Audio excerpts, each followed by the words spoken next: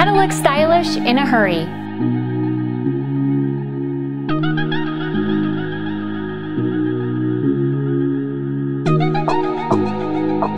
Hi ladies, it's Erin and welcome back to my channel. How many of you on a regular basis feel like this? Like you're barely keeping your head above the water. You're treading water because you have so many things going on, whether it's the kids, the husband, the house, the job, the groceries, the cooking, the meal planning, the clothes you gotta order, the camps, the extracurriculars. It can feel like you just can barely breathe some days. I get intense anxiety sometimes because I feel like my to-do list is so long. There's no way I'm ever I'm ever going to get anything done. And sometimes I just bust out into into tears to my husband and say, I don't I don't know how I'm going to manage this. And you know, he always is so great at calming me down and talking me uh, out of the anxiety. But why am I talking about this? Because I feel like most of us are in this position. We are very pressed for time. So I wanted to share some of the things that you can do uh, that will help you get out the door quicker.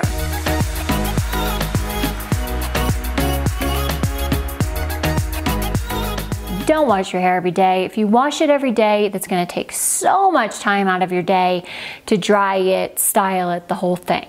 What I typically do is I'll wash it every three days. And when I do wash it, I usually wash it at night and then I let it air dry while I'm sleeping and that saves me some time. But in the morning when you wanna shower off, but you don't wanna wash your hair, hop in the shower with your shower cap, pop out of the shower, and then you use a crap ton of dry shampoo. I use the Dove dry shampoo buy the bucket load. I should buy stock in the company because I use so much of that dry shampoo. I've tried all the other brands and I really, really, truly love this brand. I think it's the best. It also works really well when you just want to add some volume to your hair if it's a little bit flat. Um, but when your hair is looking dirty or dingy, I've even done it like after a run or after working out. Ew, I know. But sometimes that's the reality. And I know that you probably have done that too. So you just spray the roots and you spray the sides really well and you brush it out and then all of a sudden your hair looks clean and nice and ready. You're ready to start that day with that hair.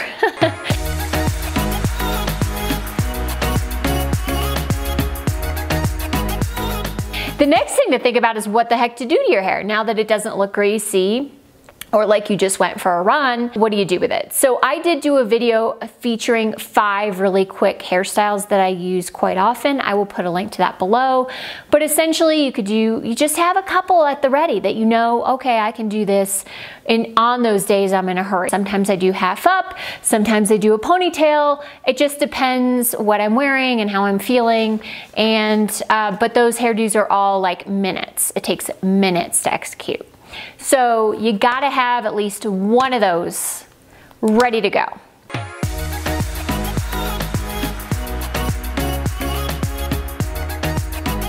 The next thing, um, you know, you sort of think about simultaneously is what are you wearing? And part of that might be, oh shoot, I wanna wear that strappy cami, but I know it's looking a little bit wrinkly and I don't have time to iron it and I don't have time to steam it. So before you hop into the shower to rinse off, just hang that cami up on a hanger, hang it right outside the shower door, hang it inside the shower if you have the space, make sure you shut your bathroom door and sort of give it a shower steam. So it will be less wrinkled. Uh, will it be perfect? Probably not, but in 10 minutes, we're not looking for perfection. We're looking for getting you out the door, looking pulled together, on time.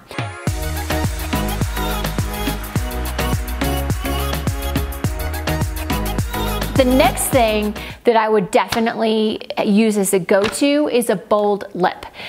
Um, when you have a bold lip, it just, it looks like, okay, you really took some time to put yourself together. And we know the reality, you did not. But when you put on a nice bold lip, people will think that you look like you, you put a lot of time and effort into it.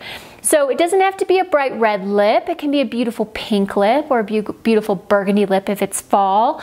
Um, whatever, you know, speaks to you. But if you take a little time, do a nice bold lip, that is going to make a difference with your overall look.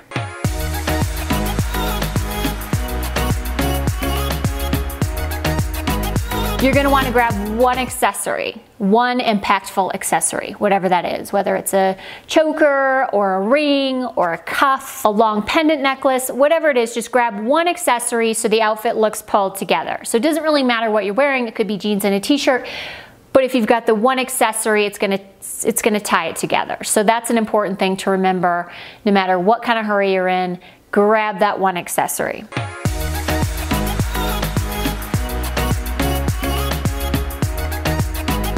The next thing I want to talk about is a little bit more about your outfit choice. And I think, and I've mentioned this in another video, it's very important to have that go-to outfit.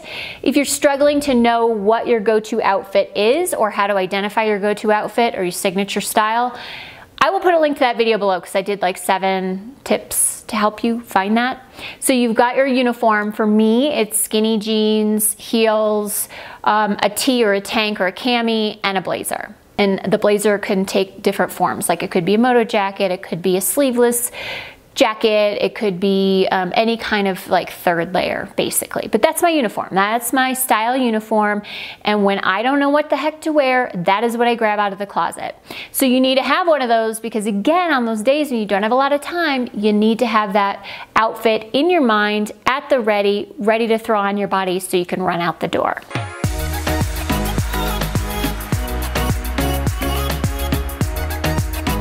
The next thing I would say is to think about your shoes. Uh, you know, not all of us can wear heels. If you can wear heels, that definitely takes your whole look up a notch and elevates it. If you can't wear heels, a great po pointy toe flat or beautiful sandal will do the trick. A really cool pair of flat booties. Think of your shoes as an opportunity to elevate that look.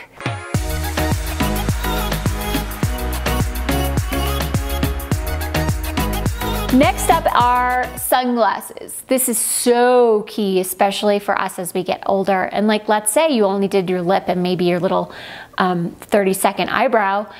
You don't have any eye makeup on. So put the sunglasses on. All of a sudden you look like a Hollywood movie star. Nobody knows you have no eye makeup on and then it took you 10 minutes to get ready. You've got that beautiful lip, the sunglasses, the brows are good you're good. Like the sunglasses are everything. So of course that's not going to solve your problem if you have a business meeting or something like that.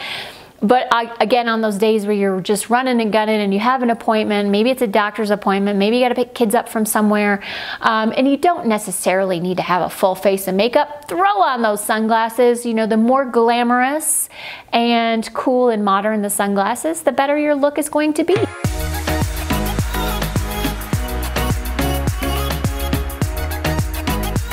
The next tip is for those of you who change your bag regularly. So let's say you're wearing your white jeans and your lavender t-shirt and you're like, I can't carry the black bag with that because it's just gonna bring the whole outfit down. Damn it, but I don't have time to change all the, this is where you need the bag within the bag concept. I love my Henri Bendel wallet because my Henri Bendel wallet has the wristlet, which is the strap I can pull up and take it out of the bag. It also has the iPhone pocket, it has the lipstick pocket, it has all the pockets for my cards and money and everything.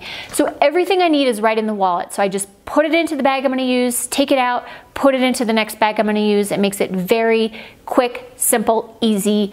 And I just know like I have everything as long as that wallet is in my bag.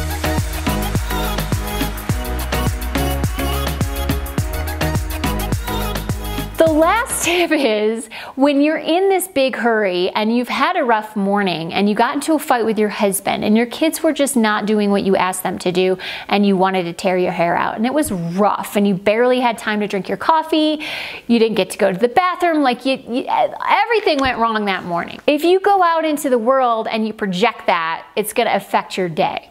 So when you step out the door, I always tell my kids, like when they're having a bad day, like let's put up the magic force field. And they walk through it, vroom.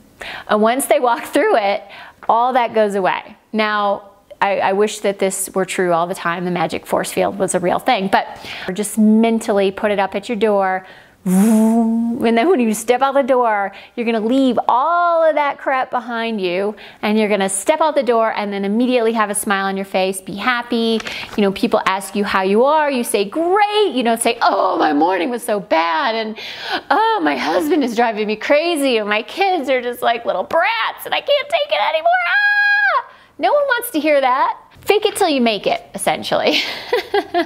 but the more you smile and the more confidence you have, it doesn't matter how quickly you got ready, um, you're going to look better, more stylish, happier, more joyful and more confident. Keep this list handy right up here and it should help, I think. It helps me a whole bunch and I think it'll help you a whole bunch. Thank you guys so much for watching. Do let me know if you have any questions. I'll put the links to the videos that I talked about below. Don't forget to subscribe to my channel. Also over on the website, busbeestyle.com, completely different content over there. When you subscribe to my email newsletter over there, you're on my exclusive list. You get all kinds of freebies and you get a recap of what I po posted on the blog that week. So it's just one email a week, full recap, lots of ideas. I think it's worthwhile for you guys to, to sign up for that. Thank you guys again so much for watching and I will see you next time. Bye.